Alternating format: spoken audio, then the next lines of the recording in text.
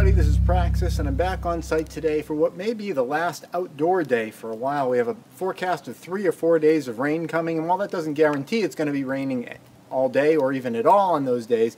This is the last day that has a clear forecast and I'm glad that I'm able to work on the foam outside because you really need a clean, clear day to work on that. Now I thought I was going to have a problem doing that because I referenced earlier that I was starting to run out of the six inch long nails and I did run out of six inch long nails yesterday. As a matter of fact, I uh, pre-cut some of these boards to go around the windows, even got the hole drilled in them and all that. Uh, but I didn't put any of them in because I'm all out of nails.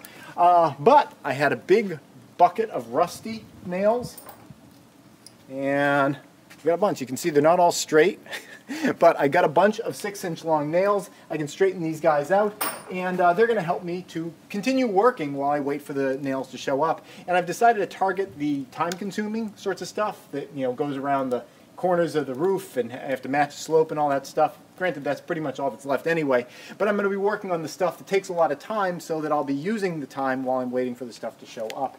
Uh, the first step in getting the stuff up there is to get it cut to uh, the right shape.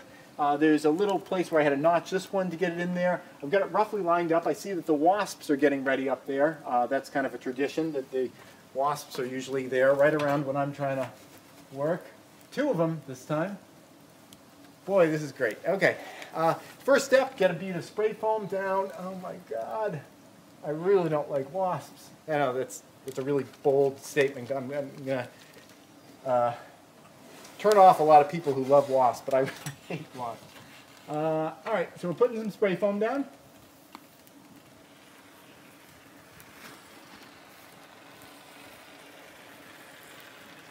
All right, so I got one bead of spray foam down along the bottom there, and the only real place to put this can is down here. I don't have anywhere to tuck it.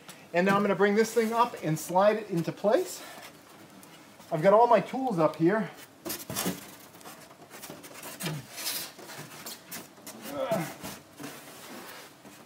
This is a good illustration of why it's not good to do this on a, a windy day.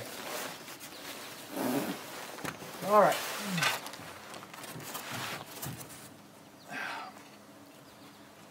Here we go. So I gotta rotate this. If I can grab it again. Okay, here we go.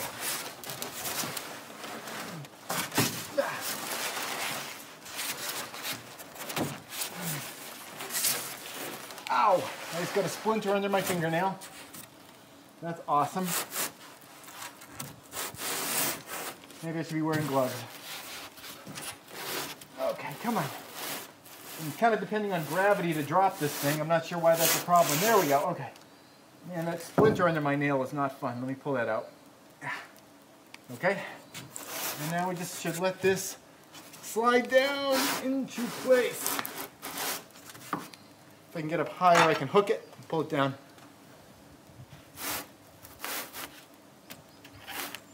Okay. So that's all in place. I've got this nail ready to go in right here. So it looks straight across there. You can tell what's straight a little better if you put your face next to it. You can see the curves easier.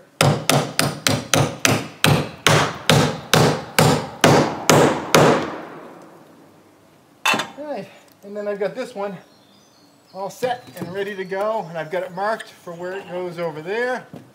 I've got a level. Make sure it's nice and level. Not that it really matters that much, but it looks nicer if it's level.